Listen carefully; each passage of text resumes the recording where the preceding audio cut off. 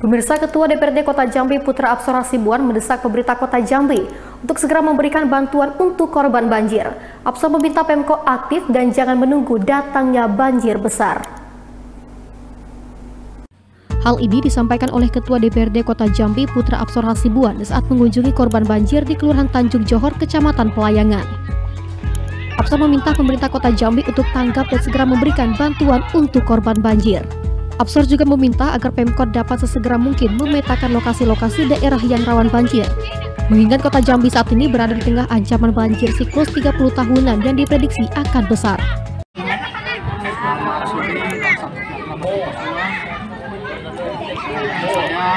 Pemerintah Kota Jambi menghimbau dan mengharap kepada pemerintah Kota Jambi khususnya wali Kota Jambi beserta jajaran yang ada di pemerintahan Kota Jambi agar cepat mengambil inisiatif untuk membantu para masyarakat kita yang terdampak akibat banjir ini.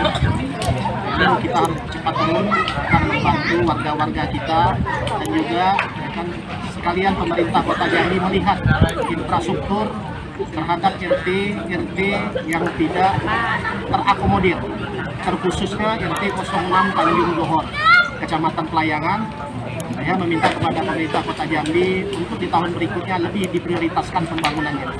Terima kasih. Assalamualaikum warahmatullahi wabarakatuh. Dalam kesempatan ini, Ketua DPC Gerindra Kota Jambi ini juga menyerahkan bantuan untuk korban banjir.